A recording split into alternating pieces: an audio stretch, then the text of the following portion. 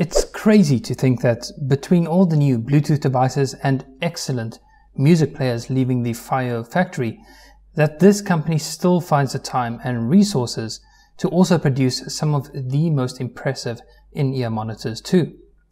FiiO have not really been involved in earphone production for more than just a few short years, but within that time they have managed to position themselves to be well and truly on the way to being the benchmark for all others to follow in terms of the bang for buck value which can be found in their products.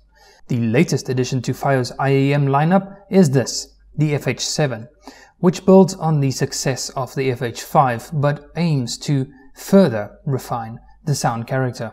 FiiO really did a great job with the build of the FH5 and they've largely carried that design over to the FH7. One notable difference is the wave-like pattern on the faceplate, but a more prominent change is the color scheme. Whereas the FH5 featured a soft touch, darkish silver grey and 10 karat gold colored accents, the FH7 features the same soft touch finish, but with a black and rose gold accented color scheme. This actually reminded me immediately of the Rolex Yachtmaster, which has a very iconic and luxurious look. The FH7 is also slightly bigger than the FH5, no doubt to make room for the larger beryllium coated dynamic driver and the extra balanced armature. The MMCX connector is also slightly different as the one on the FH5 was almost flush with the housing, whereas the connector on the FH7 is considerably more raised. I don't have the FH5 on hand to compare the two, but from what I remember, the FH7 feels just as comfortable to me as the FH5 did. FiiO clearly did spend a lot of time and resources on getting the overall shape just right, and I really am amazed at just how comfortable they are able to make a universal fit design. Add in the truly exceptional build quality, and what FiiO has here is a very well designed product, even down to the supplied cable, as this is quite possibly the nicest cable I've ever seen from FiiO. Starting from the headphone connector, we can see that this silver cable actually has a real weaved design. I've often noticed people describing other cables as being braided, but when you look closely, it's often just a twisted pair of twisted cables, which can give the illusion of having been braided. But in the case of this cable, the eight individual wires are braided rather than just twisted together. The same can be said for the portion of the cable between the MMCX connector and the splitter, as the four cables for each channel are also braided together. Then there's one particular trick the FH7 has up its sleeve which you will never notice unless you remove the ear tips. And it's arguably the biggest feature of the FH7. What we're talking about here are swappable filters. For the first time ever, FiiO has designed a pair of IEMs which allow you to somewhat customize the sound more to your own preference. How it actually works is that these filters attenuate the balanced armature located within the nozzle and thus affecting its frequency response. So really, it's the response of this BA in relation to the other drivers which is affected rather than all drivers at the same time. There are three pairs of filters, namely black, green and red, which have also been named as reference, treble boost, and bass boost, respectively. The treble filter actually has no dampener in at all, and so the balance armature in the nozzle is left completely unattenuated. But we'll get more into the nitty gritty of how these filters affect the overall sound when we discuss the sound character itself. Overall, I think FiiO once again did a great job with the design of the FH7. I really do consider the FH7 to have practically the perfect design. I also like the fact that the shell is metal rather than plastic. That added heft just gives you this perception of it being a more substantial product. Of course, weight has nothing to do with quality, unless we're talking about precious metals perhaps, but it just gives you the sense of it being a more premium product. As for the sound, I'm just going to come right out and say it. The FH7 is, in my opinion at least, the best in-ears FiiO has ever made. Are these perfect? Well, no, but they do seem closer to perfection than any other IEM FiiO has produced. This is especially true if we compare the frequency response of the FH7 to some of FiiO's other IEMs. But first, let's take a look at how those filters alter the sound signature. As mentioned, all these filters really do is to affect the treble region with respect to the rest of the signature. The green filter shows the treble frequencies to go unchecked, whereas both the black and red filters dampen the balanced armature in the nozzle. Personally, I found the red filter to sound best, despite the fact that the black filter is labeled as being the reference filter.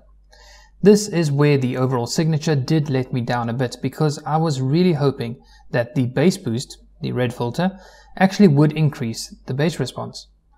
Also, even with the red filter, there are certain treble peaks that just sounded a bit too prominent for my tastes, and the bass is just a bit too polite. On tracks such as Doing It Right by Daft Punk, where I know there is a healthy amount of sub bass, I want to be able to feel those bass notes, but sadly the FH7 just doesn't quite get there. I'm not entirely sure if it's maybe the elevated region between around 1 to 2 kHz that maybe dictates how loud you can listen to the FH7, which then in turn stops you from turning up the volume for those bass notes, but whatever the case is, the FH7 just doesn't quite hit the mark for me in the sub bass. Regardless, I still think the FH7 has a good signature. Something you can do to improve the sound would of course be to use an amplifier which has an analog bass boost. But there's something else which can be done if you too find the treble frequencies just a bit too prominent. If we have a look at how the signature is affected by the output impedance of the amplifier, we can see that an increase in output impedance will also decrease the upper treble region. Unfortunately, the bass region will also be affected, but not quite by the same degree as those treble peaks. Comparing the response of the FH7 to that of the FH5 shows that whilst both models have somewhat of a similar trend in the treble region, the more obvious difference can be found in the bass and mids. I didn't particularly like the sound of the FH5 because I felt that it just had this strange kind of dark signature to it. I'm not exactly sure what is responsible for this as it might be the bass response or maybe that scoop between 2 and 5 kHz, but the FH7 doesn't seem to have any of that darkness. As I said, I think the FH7 could benefit from more bass, but the FH5 would be a good example of perhaps how too much bass would be a negative thing. Then we should take a look at the response of the FA7. Again, I felt that FiiO went too far with the bass, and this shows in the frequency response. Interestingly, the FA7 also didn't sound dark to me, like the FH5 did. In fact, I actually really enjoyed the mids and the treble of the FA7. So this leads me to think that perhaps whatever is responsible for that particular trait doesn't lie in the bass region. Unfortunately, I can't compare them directly, but if I think back, I think I still enjoyed the mids and treble on the FA7 more than those on the FH7, but as an overall signature, I definitely prefer the FH7. One other set of IEMs which I still use to this day as somewhat of a reference is the Dunu DK3001. Whilst it has a sound signature which I wouldn't call quite perfect either, it is indeed very, very good nonetheless. But more important is that it has one of, if not the most coherent sound that I've ever heard from a hybrid driver setup. Practically the only real flaw with the DK3001 for me is the comfort, which means that I can't stand to use them for more than about 30 minutes at most. But we're only considering the sound here, so naturally I ended up comparing the FH7 to the Dunu.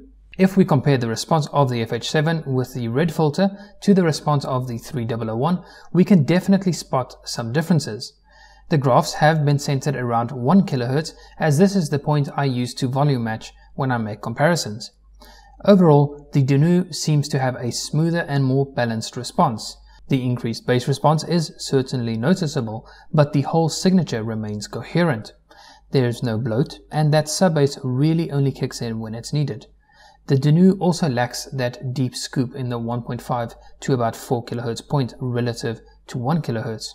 I'm not entirely certain of just how much of an effect this particular frequency range has on the overall signature, but if I listen to both sets of IEMs, I can't help but feel that a smoother and more balanced response in this region seems to make for an audibly smoother and more coherent sound character. But, as I mentioned, whilst the FH7 might not quite have as good of a sound as the Dunu has, The lack of comfort in the 3001 would have me pick the FH7 without hesitation every single time. So overall, the sound of the FH7 is, as I said, not perfect, but I think it's still a product which FiiO can be immensely proud of. Truth be told, I've heard some considerably more expensive IEMs which really did not sound as good as the FH7 does. I think to be totally fair, the signature of the FH7 is going to depend more on what your ears have already become used to. Some will find the FH7 good, others will think they are amazing, but I think very few people will not like them at all. The biggest issue I have with the FH7 is the price, seeing as they will set you back roughly $450. These are the most expensive IEMs that FiiO have ever produced, and $450 really is quite a lot to be spending on IEMs, especially when you consider that the FA7 is around $150 more affordable than the FH7. But ironically, my biggest issue with these IEMs is also what I would consider to be their biggest strength. Again, $450 is a buttload for IEMs, but go and have a look at competing products and see what you find.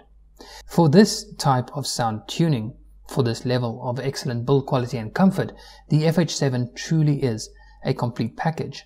It's a premium product, and it's the type of product that would cost you considerably more than $450 if these were produced by the likes of perhaps Shure or Westone or any number of more exotic and niche IEM companies.